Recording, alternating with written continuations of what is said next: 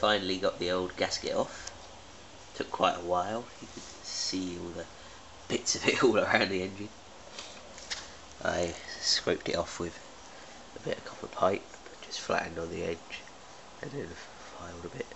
Because that's softer than the block, it doesn't scratch it. So that's good. So now I'm just going to use the same thing to do the head. As you can see, a lot of carbon build up there on the inlet valve. Yeah. So I'm going to get the rest of this old gasket off of the head and then we'll clean up that bit there and then I'm going to see about getting new rings because yeah, they're pretty worn so you could maybe be able to see you can actually move the piston. So they are pretty bad. So I don't think it's worth doing all this and um, not replacing the rings. Had a look on eBay. You could get the full gasket set for it so I might just renew the rings. Oh let's see what the head cleans up like. Day 3 on the Suffolk teardown well not really I haven't been looking at it for the last few days. But I'm gonna try and get the engine off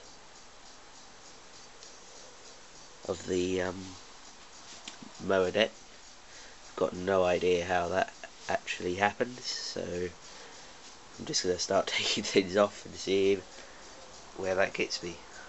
Who knows? Well I took that cover off only to find that the bolts under here are actually welded to the deck. So all I got all I had to do was just loosen the bolts. That's plus because I ain't got to try and fiddle around getting to any nuts under there to undo it so. The bolts are all relatively loose now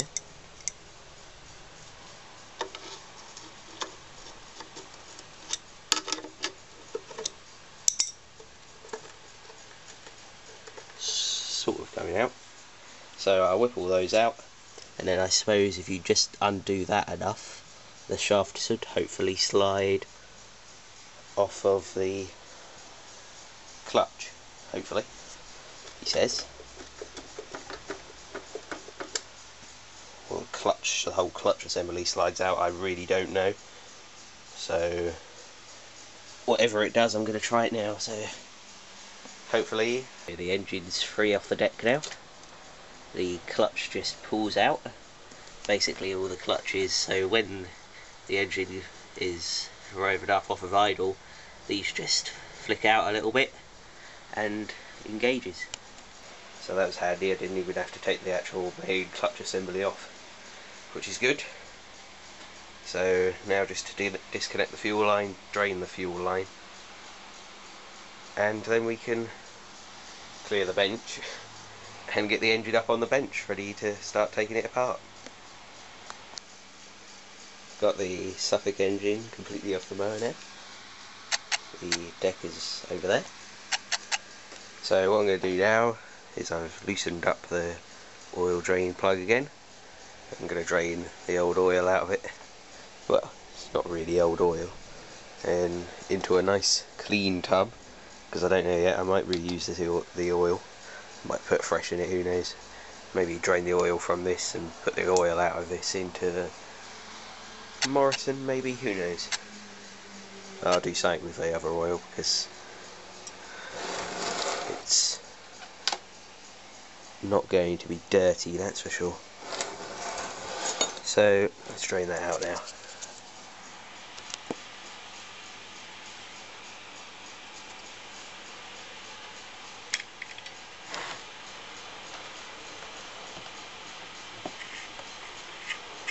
Might come and gush it out this time.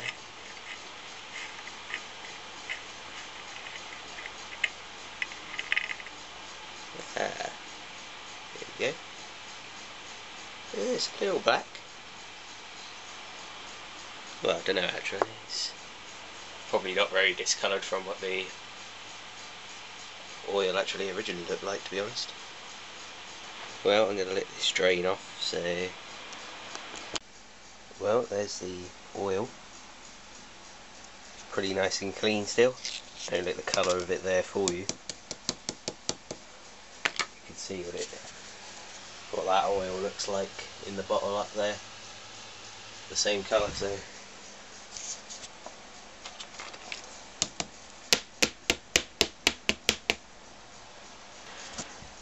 Okay, so because I'm thinking of using that oil again, I'm going to stick a little lid over it just to keep the crap out of there. Now I could sit that down somewhere, just stick it on top of those batteries there, that'll do.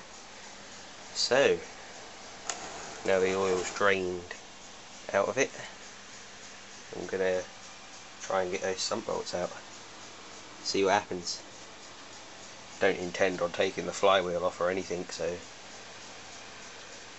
not going to turn it over because it's got no oil in it now so just to take the old air filter off. I don't know if there's supposed to be an air filter sponge in these. If there is then this one doesn't have one. But there actually isn't one in my um, BSA that's got the same style carburetor, just slightly different. Well, this engine obviously wants to be repaired, because nothing's being of any trouble whatsoever. Every bolt's coming out fine, which is good. So I'm just going to loosen those off and we'll see if the sump comes off.